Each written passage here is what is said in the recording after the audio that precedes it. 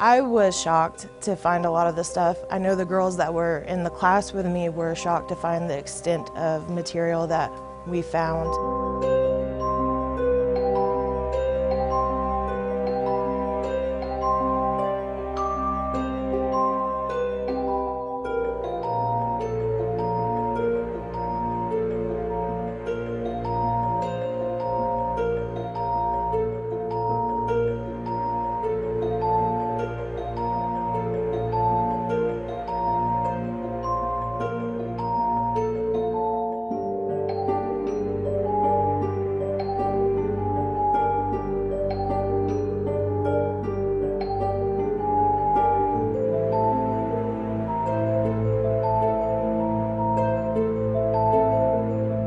Remember exactly when it was when I first saw the 1913 yearbook and the 1910 yearbook, um, but I was certainly shocked when I saw it. It is unambiguously Klan related. It is unambiguously a hooded figure, in one case holding a burning cross.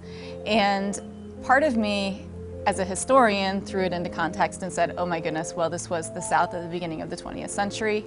But part of me said, wow, um, this is a story we need to tell and a story we need to add some context to.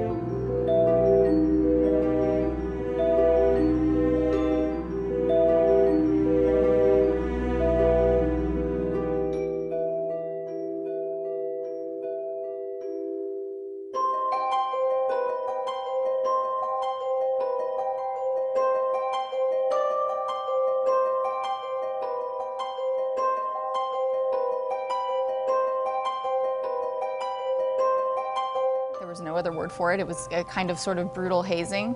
You see lots of classes writing about it in the yearbook and other um, student publications.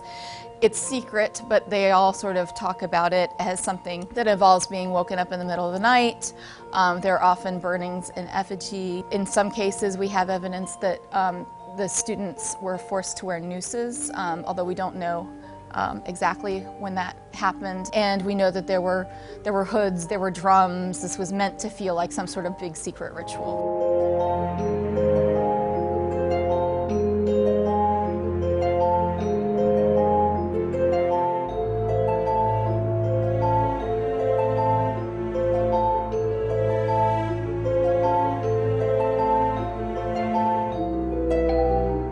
It is good that it's coming out because Wesleyan, the Wesleyan students, staff, and faculty, we need to know our history and what Wesleyan was built on. And when I was looking into colleges uh, during high school, the woman who told me about Wesleyan um, suggested that I look up the Tri-K Pirates and what the Tri-K Pirates meant.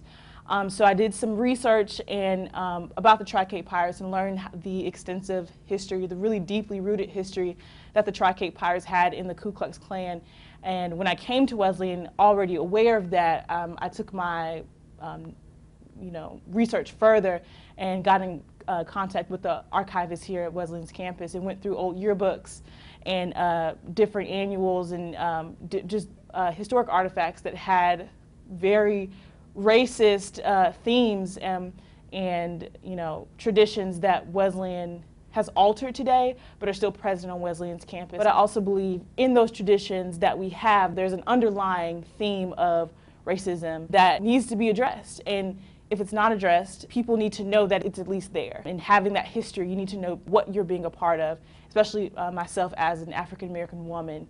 Um, I would want to know any tradition that I'm a part of if it has some type of underlying theme that I wouldn't have been a part of in, you know, 30 years ago, 40 years ago. So I think it's really important for Wesleyan to bring forth that history and to talk about it openly. Hey, this is what we were before, but this is what we are now. And let me explain to you what these specific traditions are. It's important now because um, when we work with students and with each other about issues of race and, and diversity and race, diversity and inclusion, we can't ignore what happened in the past. And students of all races appropriately ask us about the past. And we have to be, we have to be able to tell them, acknowledge the past and also acknowledge that that's not who we are now.